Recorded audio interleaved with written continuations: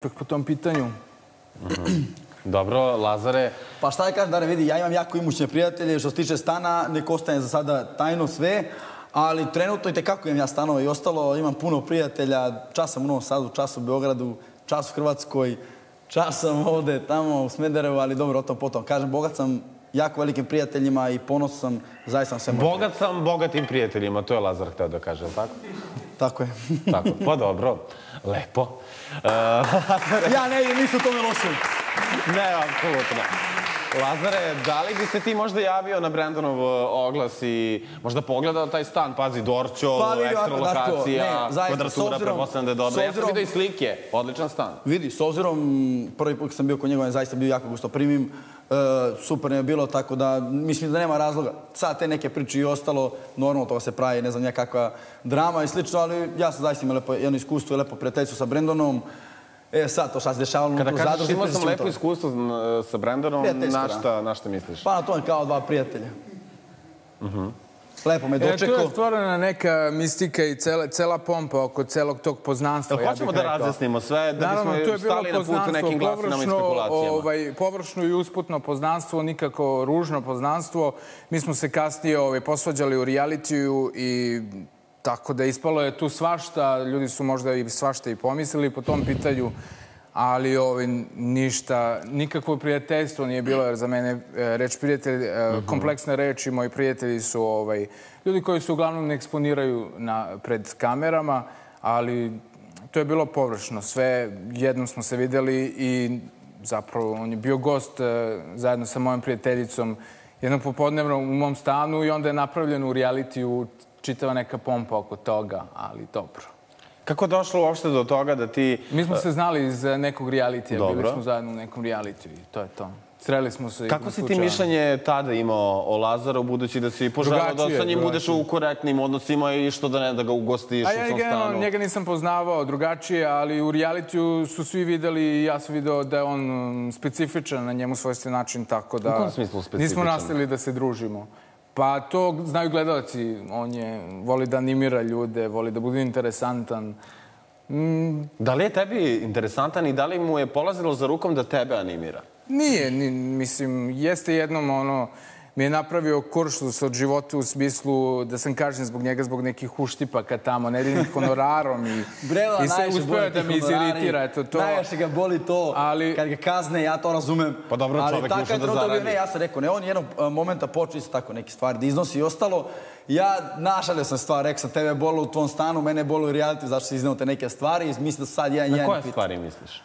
Pa u su, kad se povela ta tema, onda on nastavio, pa znate ovako, pa onako, on je bio tu. Dru, ok, pomenuli su tu drugaricu koja zaista jeste bila njegova drugarica, ta A nije ni bitno, mislim, to Da. je bilo što je bilo.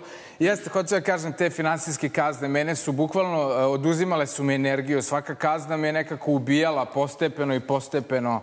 Ne znam, osam kazni, onda izađem iz realitija, vidim da imam čak 11 kazni i slično tome.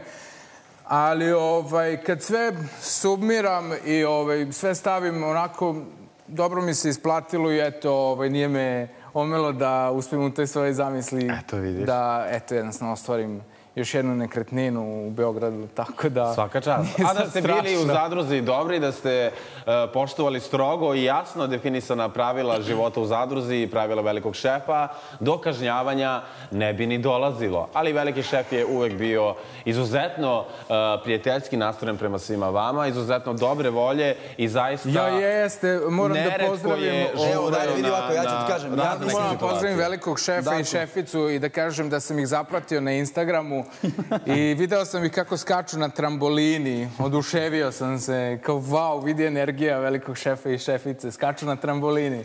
Tako da pozdravljam ih ako gledaju ovu emisiju. Ja mislim. Darko, da sam tekako maksimalno ispoštovao od 100-120% i velikog šefa i šeficu i zadrugu i produkciju i sve, nego jednostavno nisam poštovao sebe dovoljno i mene su koštale moje kazne lično i isključivo zbog sebe. Ne zbog produkcije, ne zbog šefa i šefice. Sam sam tako napravio neke gluposti i naravno odgovarao za to, ali opet ponavljam, nije mi bio isključivo prioritet novac. E, iskreno, ja kad sam izašao i jedino što me vodi kroz to i danas dobijem ponudu, ja kažem, ja sam sportista, volim nove izazove, nikad ne reci nikad i uvek sam tu za izazove publika i ljudi šta su videli u meni, ja sam zaista previše oduševljen i to je nešto što, je mene najviše kupilo i zbog toga je ono zbog čega bi ja možda i nekada ponovo ušao unutra i zaista sam ponosan na kraju na samog sebe kako se sve izdešavalo. Dobro. E, rekao si da, da su gledalci u tebi videli e, i prepoznali određene stvari Da. zbog e, kojih su te zavoleli, cenili i držali toliko dugo u zadruzi. Šta misliš, šta je Brandon video u tebi u tim trenucima dok ste vas dvojica bili u korektnim i prijateljskim odnosima? Šta je on u tebi prepoznao? Pa on je, e, on zna kakav sam ja, on možda nije želeo da Darko, se... ti sad praviš kada je tu, ne znam ja šta bilo, a to je zaista Kako- šta ja e, pravim? greška ovaj, kada se slučajno vidiš sa ljudima koji vole kamere, javni život i onda se od tog napravi pompa i... Čekaj, na kraju hoćeš- Ali mi ovdje pričamo o realitu, šta se dešavalo u realitu, ne Da samo na svetu. Ja od Darko, šta ti pokušavaš da, me pitaš, sve okej. Ja kažem, unutra, sve što je bilo, bilo je. Breno zna kakav sam ja, stvarno. Nije želeo to priznam sebi. I on na neki način zna sam ja vredan momak, da ću svakom da pomognem i ostalo. Ja sam njemu želeo da izađem u susret, pomagao sam mu dosta puta. u realitiju, ja imam kućnu On- pomoćnicu. Ok, on je ovaj, e, on nije, ja kažem, pričao sam tamo i da je ljigavi, zao, nije zao, ali jako bezobrazan bio u realitiju. Nije umeo da ceni te neke stvari, jednostavno nije želeo, ne da nije umeo, nije želeo da počne to da ceni i on je jednostavno bio takav tamo. On je bio jako bahat, e, gledao je samo sebe, jednog momenta smo bili sami, pričam i kaže, može ja potvrdi ako želi, kaže ti se baš super ovde snašao u realitiju i oko hrane i generalno oko, oko učestvovanja i ostalo dok on je gledao samo sebe i gledao, že- želeo da izgura tu neku svoju priču. I onda mislim, tu je dolazilo do konflikta, do svađa, jer su drugi to vidjeli sa strane, da ja stvarno, ne samo njemu, nego mnogim želeo da pomognem, ali on, kažem opet, gleda samo sebe i u tim momentima kad pomažem njemu, neko dođe, želi takođe nešto, ja hoću njemu da pomognem, onda on dolazi, šta ti imaš sa njima, prvo moraš mene ispoštuje prvo ja i uveličuje sebe i žele samo sebe u prvi plan da, da istakne. A tebi je to smetalo?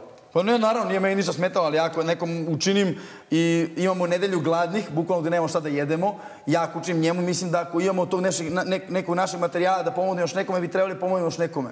A on se tu iznervira i onda je došlo do nekog konflikta, ali verovatno će toliko emisije biti klipova snimaka, pa ćemo komentarisati. Tu smo komentarišali to šta se dešavalo unutra. Tu smo da komentarišemo sve ono što se izdešavalo u zadruzi